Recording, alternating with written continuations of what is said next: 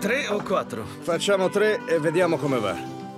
Possiamo riempire gli spazi vuoti man mano. Mi chiamo Gabe, ho 45 anni e sono di Mesa, in Arizona, e questo è il mio amico. Il mio amico si trova, ecco, appena sopra la clavicola. Convivo con questa protuberanza da circa nove anni. Lavoro in un vivaio. L'ho notato per la prima volta mentre stavo accatastando dei pallet. È comparso dal nulla. Il giorno dopo sono andato a farlo vedere. Mi hanno detto che è un lipoma. La dottoressa ha detto che voleva che consultassi un chirurgo. Ho il terrore degli interventi. Non voglio essere sottoposto ad anestesia. Mi fa troppa paura. Ho paura di quello che potrebbe fare il medico. Tutto bene? Di solito, quando prendo una botta, sento una forte fitta che mi si irradia lungo il braccio e a volte mi fa cadere le cose di mano. Non riesco a prenderli tutti. Perché hai quell'enorme palla che ti spunta dal collo? Ho una famiglia a cui provvedere e se non riuscissi più a fare il mio lavoro, sarebbe, beh, un bel guaio. Io passo la maggior parte della giornata al volante. Quando devo salire su un veicolo e mettermi alla guida, devo sempre fare attenzione per evitare di farmi male. Ecco, quando mi siedo devo abbassare la testa, altrimenti sbatto.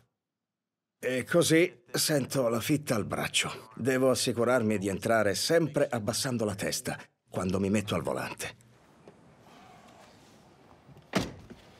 Guido guardando sempre a sinistra. Ho pochissima visibilità a destra. Non vedo praticamente nulla a causa del lipoma. E questo ovviamente mi provoca non pochi problemi alla guida, che è una delle attività che faccio più spesso. Devo girare moltissimo il collo per essere sicuro di vedere bene. Alla fine potrebbe impedirmi di guidare e sarebbe un disastro.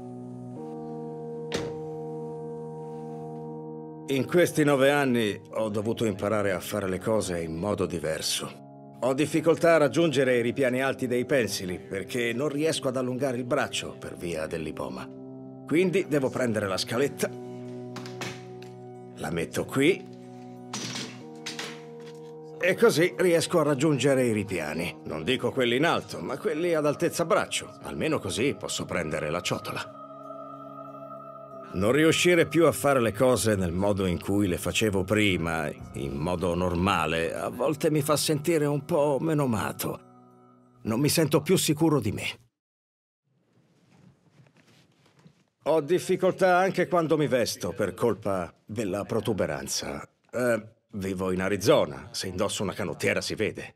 Eh, ovviamente non lo faccio spesso perché chiaramente io cerco di nasconderlo. Non mi tolgo la camicia in presenza di amici. Non vado a nuotare. Quando vado in spiaggia tengo la maglietta. Prima metto la canottiera e poi prendo la camicia. Quando metto la camicia, siccome non ho le spalle simmetriche, i bottoni e le asole non sempre combaciano. Cerco di abbottonare la camicia fino a su per assicurarmi che non esca fuori. Non riesco ad abbottonarla tutta, perché il tessuto non è troppo elastico, quindi tira. Si sposta di continuo, quindi passo il tempo a tirare su la camicia. Il lipoma mi impedisce anche di sollevare i pesi. Non riesco a fare le flessioni né i sollevamenti. Non potendo fare certi esercizi sono fuori forma più di quanto non vorrei.